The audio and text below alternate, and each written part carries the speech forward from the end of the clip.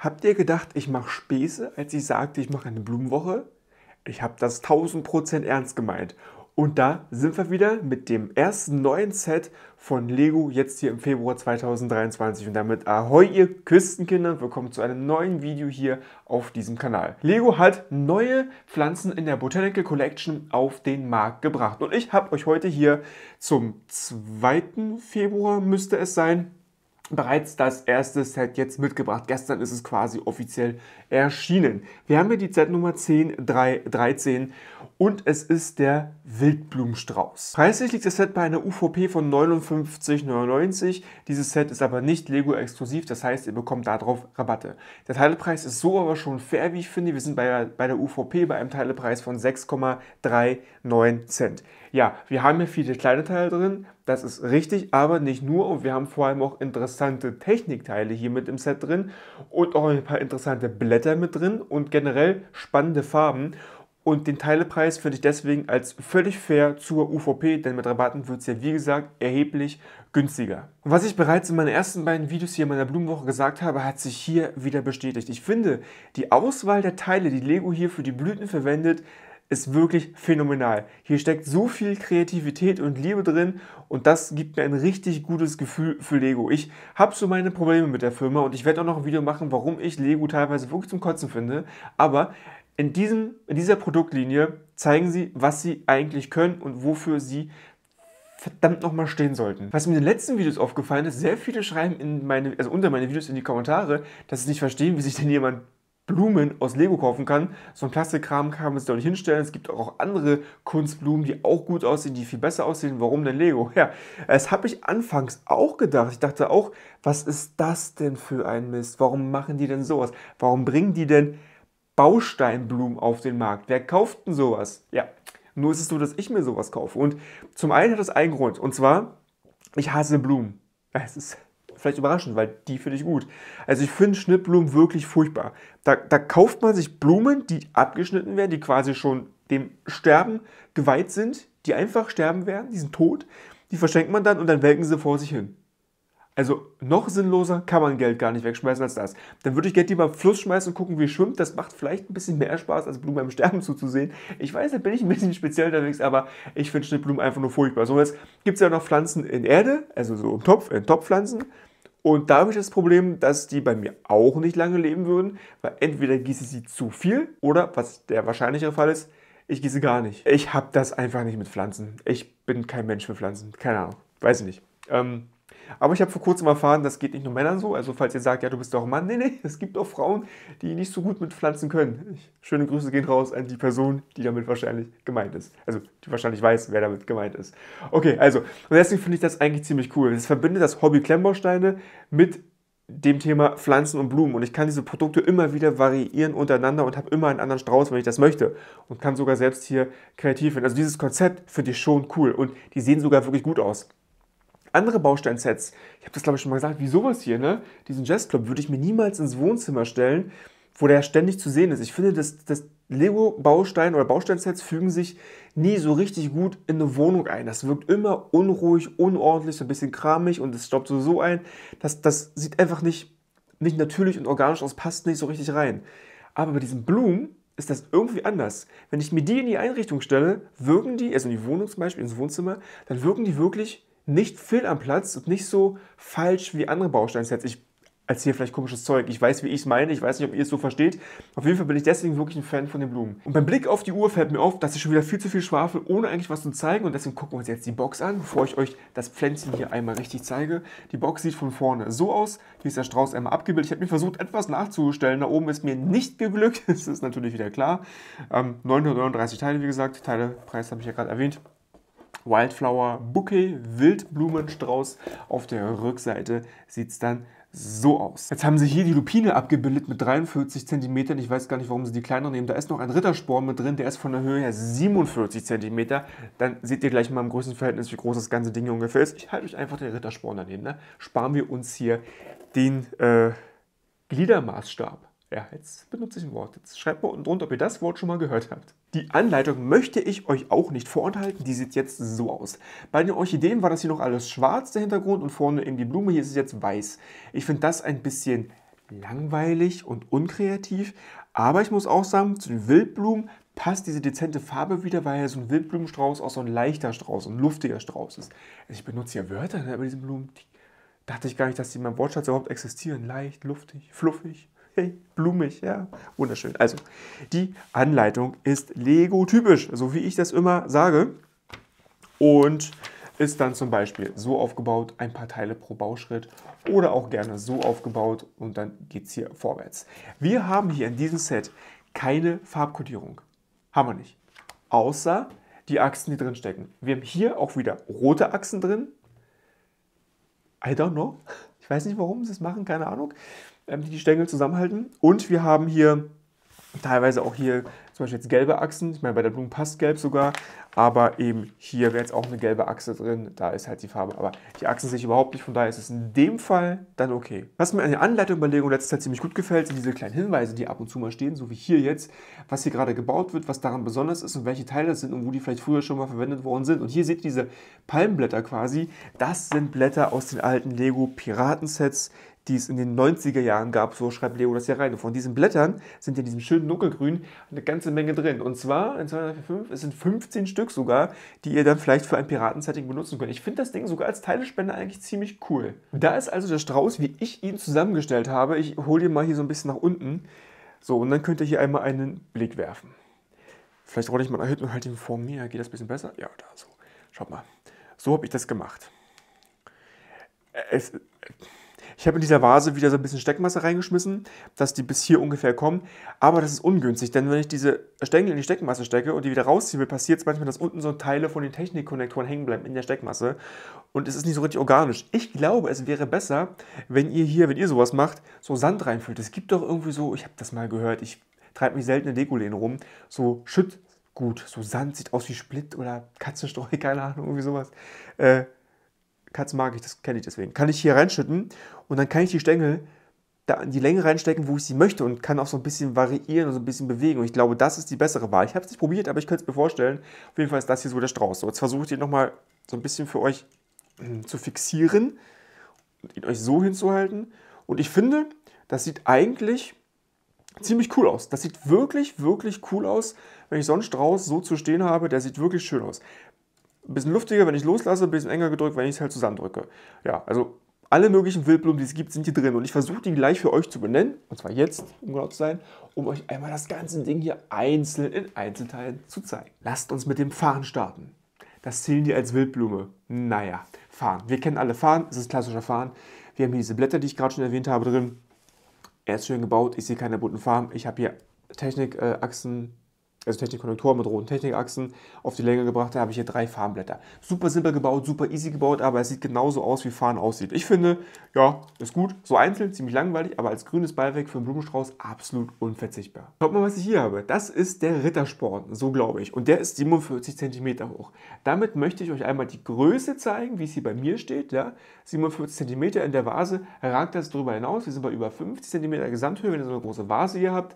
Und das ist die größte Pflanze, die im Set enthalten ist, der Rittersporn. Wir haben hier, wie bei den meisten Pflanzen in dem Fall, diese langen Technikachsen. Das sind Technikachsen mit einer Länge einer Baseplate, also ich glaube 32 Noppen in der Länge. Davon sind hier einige drin. Der wird unten nochmal verlängert durch zwei Technikkonnektoren. Und wenn ich die kürzer möchte, kann ich die abmachen. Wenn ich die länger möchte, kann ich ja woanders ein paar abnehmen zum Beispiel und damit hier verlängern. Und ich habe noch eine eigene im Fundus. Kann ich also schön variieren. Ansonsten finde ich hier die Blüten sehr schön gebaut. Die sehen so aus. Ich weiß nicht, welche Teile das sind. Das sieht wirklich aus wie Blütenteile. Allerdings weiß ich, was das hier für ein Teil ist. Ich, kann ich das von hinten zeigen? Schaut mal hier. Das sind einfach, ja, es ist echt schwierig.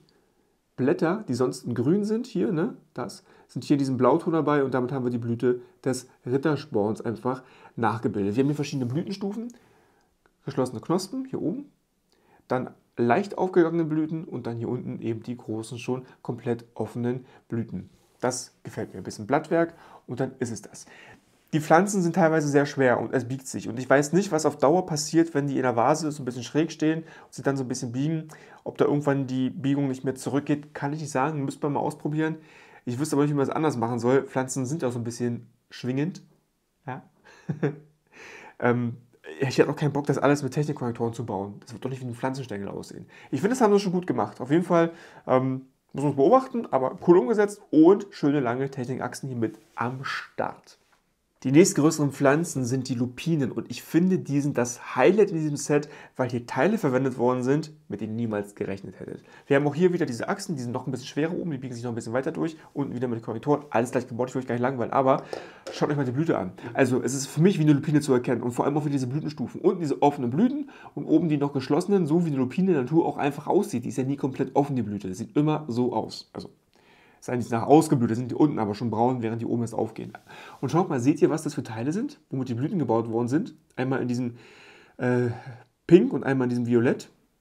Ja, das sind Piratenhüte ich werde nicht mehr. So eine geile Teile. Wie kommt man auf die Idee, Piratenhüte zu benutzen? Und die sehen wirklich aus wie eine Blüte von einer Lupine. Es passt einfach so gut. Klar, diese kleinen Löchlein, die hier drin sind, ähm, haben eine Lupine jetzt glaube ich jetzt nicht. Äh, da so, wie seht ihr hier, wo man eigentlich so eine, so eine Feder oder sowas reinstecken kann. Was ein Piratenhut hat eben so eine Feder oder irgendwas anderes dran, keine Ahnung, eine Fahne. Ähm, ja, und ich habe diese Piratenhüte als äh, Blüten rangesetzt. Mega coole Teileverwendung und äh, ich feiere das dermaßen hart, dass die hier sowas reinbauen. Kommen wir jetzt zu zwei Pflänzchen, die ich nicht so richtig zuordnen kann. Für mich sieht es aus wie die gemeine Schafgabe. Im englischen Text stand da irgendwas anderes, kann ich am Anfang, keine Ahnung. Ähm, ich würde es mal als Schafgabe verkaufen, sieht für mich so aus. Die Dinger zu bauen ist nicht so witzig gewesen. Ähm, das sind halt sehr, sehr viele kleine Blüten. Ihr seht es ja. Und das darauf zu fummeln, das ist meditativ im besten Fall, im schlimmsten Fall einfach furchtbar nervig. Äh, bei mir war es eine Mischung aus beidem. Hier haben wir keinen Stängel, hier haben wir jetzt wieder dieses Thema mit den Technikkonnektoren und eben mit den Achsen innen drin. Zwei sehr einfache Pflänzchen, aber als Beiwerk, als weiße Farbe damit drin, als Farbtopf war sehr wichtig in diesem Wildblumenstrauß und passt da auch gut rein, wie ich finde. So langsam wird der Strauß da oben ein bisschen kläglich, aber wir haben jetzt hier ein paar schöne Blumen, die ich aus meiner Kindheit auch noch kenne. Ich bin auf dem Dorf aufgewachsen, wisst ihr, und bin immer über Feldern gesaust, vor allem im Sommer, wenn das Getreide da gerade gewachsen ist oder auch wenn es frisch gemäht war über die Felder rüber, dies, das alles. Ähm, war immer toll gewesen. Und da habe ich diese Blumen natürlich auch gesehen, die Kornblumen, die ihr wahrscheinlich auch alle kennen werdet. Also könnte man kennen. Ähm, in verschiedenen Farben, einmal hier in Blau, einmal in Weiß. Finde ich schön, dass sie zwei Farbvarianten reingebracht haben, auch wieder mit geschlossenen Blüten, offenen Blüten. Wir haben hier Minifigurenköpfe quasi als braune Knospen, die noch zu sind. Und obendrauf so eine Pflanzenstängel in Violett als, äh, äh wie heißt denn das bei einer Blume, was da drin ist? Blüten, Pollen, Dinger, Antennen? Weiß ich nicht. Die Blätter schön gebaut, das, die sind so ein bisschen struppig, so ein bisschen härter, die Pflanzen, sehen so ein bisschen kantig aus und so ist es hier auch umgesetzt worden optisch. Also die haben hier wirklich einen richtig guten Job gemacht. So jede Pflanze für sich einzeln sieht ein bisschen öde aus, aber alle zusammen im Strauß, super cool. Der Lavendel ist sehr schlicht gehalten, aber Lavendel sieht auch einfach so aus. Hier haben wir wieder diese violetten Blätter als ähm, also die sonst grün sind hier im Violett mit drin wieder Minifigurenköpfe auch in Violett. Also Farben für Teile sind hier extrem cool. Gibt sehr, sehr viele schöne neue Farben für Teile, die ich so bisher noch nicht kannte. Jetzt kommen wir zu meinen zweitliebsten Blumen in diesem Strauß hier. Die finde ich mal richtig schön hier. Es ist Scheinmohn. Der ist hier gelb. Ich kenne den eigentlich äh, in gelb gar nicht, muss ich sagen. Eher so rot-orange, aber wahrscheinlich gibt es das auch in gelb. Hier innen drin, das äh, Pollenberg quasi ist eine Autofelge in diesem Gelb. Diesen Gelbton mag ich sehr gerne tatsächlich. Ausnahme wieder wahrscheinlich so Schulterplattenelemente von anderen das weiß ich nicht genau. Und die Stängel, die sind auch sehr, sehr schön stabil. Generell sind die Pflanzen sehr stabil, da ist mir eigentlich nie was abgefallen, außer diese weißen Blüten bei der so in der Schafgabe. Die gehen ab und zu mal flöten, wenn ich da so ein bisschen arrangiere. Ansonsten hält die alles echt gut. Steinequalität war hier ja auch großartig gewesen. Und das sieht so aus. Und auch so wie der Mohn so ist, so locker, so luftig, da ist halt nicht viel Blatt dran. Da fest bei einem anderen fallen die Blätter so ab bei so einem Mohn. Also haben sie auch schön getroffen. Nichts, das muss man erstmal schaffen, mit Bausteinen nicht so klobig zu bauen, dass es wirklich so zart und zärtlich wie eine Blume aussieht. Also cool. So, und jetzt kommen wir zu meinen schon wieder Lieblingsblumen. nee, aber ich mag die auch, äh, in, die mag ich in echt auch ziemlich gerne tatsächlich. Äh, von der Optik her, die Gerbera würde ich mir trotzdem nicht abschneiden und in Vase stellen. Und hier haben sie was gebaut, was ich cool finde. Weil Blumen sind ja niemals gleich, oder? Der Mohn war ja gleich, die Lupinen waren gleich, der Lavendel war gleich. Hier ist ein Highlight. So, Gerbera. Wir haben einmal in diesem Pink, einmal in diesem Sonnenblumengelb. Das sind trotzdem beides Gerbera. In der Mitte dieser Blüten, dieser Pollenkern da, hm, ich weiß nicht, was das Teil kommt mir echt bekannt vor. Ich kann es gerade nicht zuordnen, wo es sonst verwendet wird. Sieht aus wie so ein Korb oder wie so, ein, wie so ein, weiß nicht, wie so eine Mütze in Asien. Ich habe keine Ahnung. Auf jeden Fall, schaut euch mal die Blütenblätter genau an. Bei der pinken hier sind die alle, diese Paddel, das sind übrigens Paddel als Blütenblätter, super cool. äh, in die gleiche Richtung ausgerichtet. Also, Moment. Äh, hier oben ist diese Ecke, die nach oben steht und hier unten fällt es ab. Steht nach oben, fällt ab, steht nach oben, fällt ab, steht nach oben, fällt ab. Ich habe Wortführungsstörung, anders kann ich es nicht benennen. Und bei der hier ist das nicht so. Jetzt hätte man sagen können, okay, gut, ich bin zu doof, die richtig zu bauen oder man steckt die einfach irgendwie dran. Aber nee, ähm, hier bei der gelben haben sie wirklich die Paddel in verschiedene Richtungen arrangiert. Das seht ihr auch auf der Verpackung. Und bei der pink haben sie sie in eine Richtung arrangiert. Sodass diese Gerberei hier, diese gelbe, schon aussieht, als wäre sie schon fast verblüht oder ist schon am Ausblühen. Und die hier sieht so aus, als wäre sie gerade noch frisch in der Blüte und ist gerade erst aufgegangen. Den Effekt schaffen sie mit, dass sie die Blütenblätter hier anders angerichtet haben.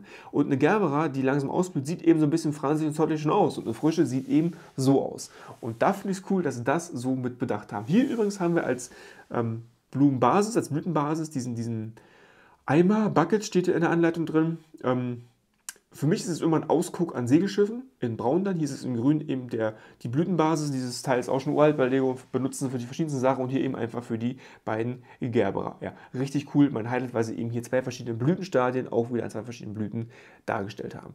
Auch wenn es hier viele Blumenfeinde unter euch gibt, ich bin begeistert von diesem Set und von der Themenreihe, das habe ich eingangs schon gesagt, die Grüne habe ich schon genannt, sparen wir uns das. Hier seht ihr doch meinen Strauß, wie ich jetzt in der Hand halte. Könnt ihr super verschenken, eurer Freundin, eurem Partner, eurem Chef, ich weiß es nicht, vielleicht hat jemand Freude. Aber ich glaube, das verschenkt man eher nicht aufgebaut, sondern unaufgebaut, damit derjenige es hat und selber was sonst irgendwie, ihr wisst schon, er ist ein bisschen, naja. Okay, auf jeden Fall. Mir hat das eine riesen Freude gemacht. Ich baue jetzt noch den Trockenblumenstrauß fertig. Das ist ja kein Strauß. Äh, Trockenblumengesteck baue ich auch noch fertig. Das Ding sieht ein bisschen aus wie Hallo 70er oder 80er. Irgendwann, als es Trockenblumen gab. Mal sehen, wie das Ding in echt aussieht. Den werde ich euch hier auch noch vorstellen. Dann lasse ich euch auch schon Ruhe mit der Blumenwoche. Schreibt mir jetzt gerne mal eure Meinung zu diesem Set, zu der Blumenwoche und zu diesem Video unten drunter gerne in die Kommentare. Und ähm, ob ihr sowas schon habt oder ob ihr das tatsächlich kombiniert und kreativ seid mit anderen Straußelementen, anderen Blumen, was auch immer, würde mich echt interessieren, ob es jemand da draußen gibt, der das so wirklich macht und sich in die Wohnung stellt. Ich bin gespannt. Und bis dahin sage ich, wie immer, alles Gute und Tschüss hier von eurer blumigen Steinküste.